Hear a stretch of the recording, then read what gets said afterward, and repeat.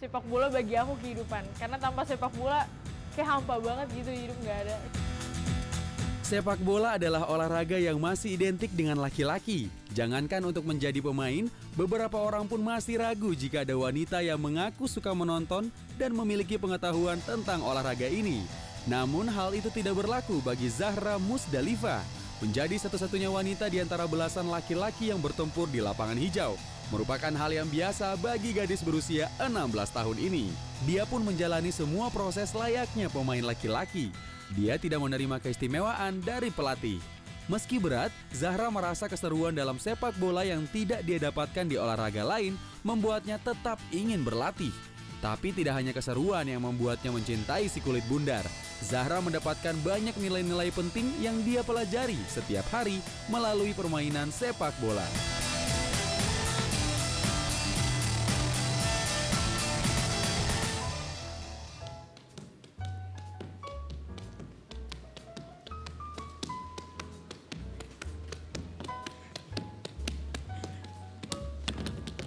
Kok jago sih?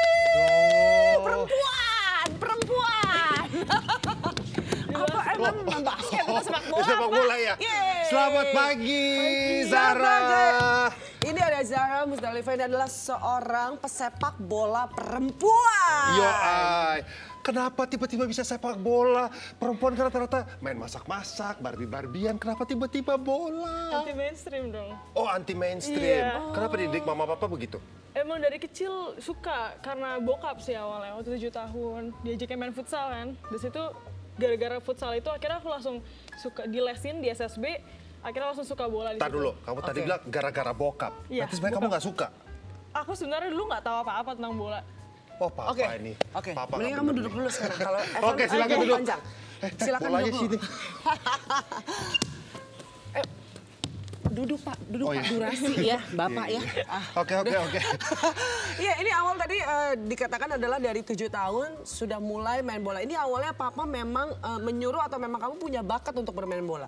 Nggak disuruh, cuman waktu itu kan aku kan lagi boring aja di rumah nih. Papa kan setiap kegiatan malam Jumat itu selalu main futsal sama teman-temannya. Mhm. Terus papa ngajak aku daripada kamu bosan gitu kan di rumah, mending ikut papa gih nonton papa main gitu sama teman-teman papa. Nah di situ kan namanya anak kecil kalau ngelihat orang-orang main kan pengen ikutan ya. Nah aku di situ ikutan, jadi ada bola di luar, tendang-tendangan aja sama dinding itu. Jadi tendang-tendangan sama dinding udah sekitar lama banget. Itu aku udah bisa passing, juggling juga sendiri-sendiri karena ngeliat-ngeliat orang. Nah, Wow. papa lihat dari situ, oh kamu juga punya kelebihan nih. Dari situ langsung dimasukin di les sepak bola, biar di makin bakatnya makin di ini. Jadi mulai dari tujuh tahun itu ya. Nah sekarang Iya. ini katanya eh, bergabung di klub ya? Iya, aku Dan di klub. klubnya cowok semua ya? cowok semua. Tapi karena aku usia udah 16 tahun, itu kan yang di mana di cowok kan udah nggak dibolehin lagi kalau ikut kompetisi. Cuman Hmm. kalau sekitar latihan doang itu boleh, sparring juga boleh. Cuman kalau udah ikut kompetisi dan lain-lain itu udah nggak boleh lagi karena usianya udah apa udah gede gitu loh tulang-tulangnya jadi udah beda banget Oh, terus akhirnya kalau kamu, kamu sebenarnya cita-citanya mau ngapain sih? Apa emang bener-bener hanya khusus jadi pemain atlet bola? emang pengen jadi pemain sepak bola profesional That's it? Iya, deh. Nggak mau jadi apa, dokter, nggak mau apa? Enggak Ini- emang lagi difokusin. Kata-katanya aja tadi kayaknya eh, kayaknya merasa hampa gitu kalau nggak main sepak bola. Sepak bola gitu. adalah hidupku.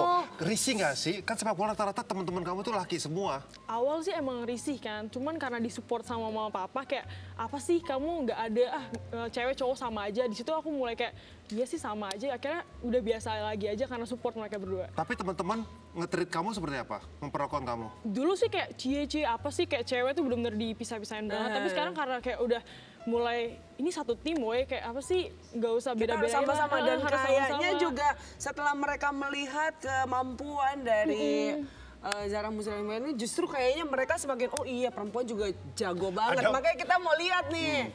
Ada bisa ngalahin laki-laki. Nah, ini waktu saat masih sama cowok ya? ini ini iya, masih sama cowok ya. tanding. Masih pertandingan. iya ini kompas Pernah menang nggak kamu? kompas Gramedia juara satu Wih! Terus juara satu apa lagi? Norwegia Norwegia. Norwegia. Waduh. Jadi benar-benar perempuan sendiri dalam Aku- satu iya, tim. Aku perempuan sendiri. Nah, nomor punggungnya berapa ini? 12. 12. Kamu striker Oh. apa defense atau? Aku wing Oke wing. sama striker. sama striker. Iya. Waduh berapa kali dalam sampai hari ini udah berapa gol yang kamu ciptakan? Aduh berapa ya? Gitu nggak gitu kan? Jangan-jangan banyak nih, sampai lupa. Ada ratusan? Wah nggak ngitung, sumpah nggak ngitung. Berapa berapa kali aku main bola seminggu udah tiap hari kali main bola. Nah biasanya kan setiap uh, pemain bola itu punya akselerasi tersendiri gitu pada saat memasukkan gol. Kamu sendiri Selebrasi. punya? Eh, selebrasinya punya nggak? Punya. Kayak gimana coba? Ke penonton gini. Oh, dengerin suara teriak gitu ya. Oh, canggih Wah, ya. jadi ada gayanya juga gitu. Oke, apa yang bisa membedakan kamu dengan pemain cowok lainnya? Bisa membedakan Iya, kalau kamu punya ciri khas tuh di mana gitu? karena cewek. Udah karena cewek doang? Eh, aku juga kalau misalkan main sama cowok nih, tim apa musuhnya juga kayak nggak nggak 100% gitu loh. Jadi kayak menguntungkan tim juga gitu loh. Oh, jadi lawannya kalau cowok, aduh, aduh perempuan. Iya, mentang-mentang Kasihan perempuan dia. gitu loh. Padahal aku tuh nggak perempuan-perempuan banget gitu loh. Jadi kayak ngeremehin gitu lah. Oh, jadi intinya gini, kamu menang kemarin itu ngerasa nggak kalau itu cuma dikasih, oh udah biarin aja Enggak gitu juga, nggak? enggak juga sih. Hah? Atau mungkin pas mau uh, de- deket gitu kan, ah laki sama perempuan bukan murim jadi nggak enak gitu. Seperti Biarin itu lah, biarin lah gitu kan. Tapi dari kamu pribadi sendiri, ada nggak niatan buat ngajak teman-teman lain, khususnya buat perempuan ya, bahwa sepak bola itu tidak hanya laki-laki gitu loh. Betul, aku udah ngasih tahu hampir ke seluruh apa Indonesia kan kayak cewek nih kalau emang bisa main bola tuh ada kebanyakan yang takut, takut nggak diboleh orang tua lah, takut apalah. Kalau kalian emang suka atau kalian emang bisa, udah tunjukin aja gitu loh. Kalau kalian tuh emang bisa main bola dan dunia tuh ha- berhak memiliki kalian gitu loh. Wih. Ini pernah dicoba nggak sih untuk masuk ke timnas?